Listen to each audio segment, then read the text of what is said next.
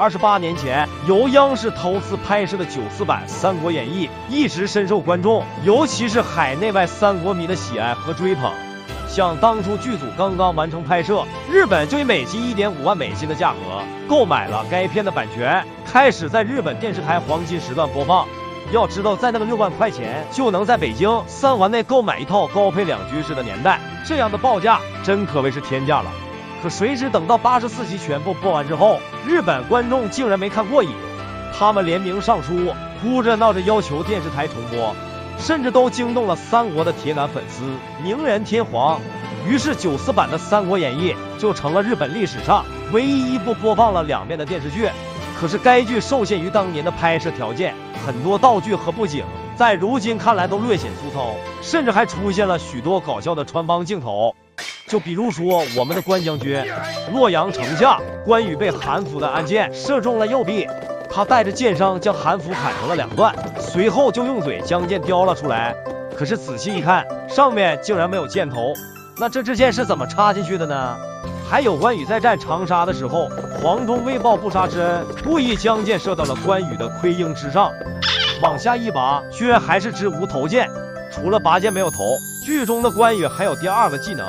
收刀不入鞘，泗水关上，守将卞喜本想暗算关羽，却被关羽识破，一顿犀利的操作之后，卞喜就倒在了血泊之中。这收剑的姿势真是帅气，可仔细一看，这剑竟然没插回到鞘里。张飞丢了徐州城，来找刘备领罪，也许是从徐州出来的时候太着急，忘记穿鞋了。张飞脚上穿的不知是从哪里捡来的一双油光锃亮的大皮鞋。曹操带领着大军逆风前行，漫天的黄沙吹得将士们眼睛都睁不开。突然，咔嚓一声，旗杆被大风硬生生的给折断了。曹操定睛一看，咦，折断的旗杆旁怎么会有一个烟头呢？真不知是哪位将相侯抽了颗香烟解忧愁。一队士兵从城门前经过，仔细看前面的这位演员，他竟然穿了条露大腿的裤子就出来了。好歹也是个排头兵，咋能这么不在意自己的形象呢？你看看人家唐国强老师，虽然里面只穿了一条裤衩，但只要风不吹，你根本就看不出来。相信大部分观众在看剧时都专注于剧情，很难观察的这么仔细。但我认为，比这些穿帮镜头更难分辨的是剧中的演员。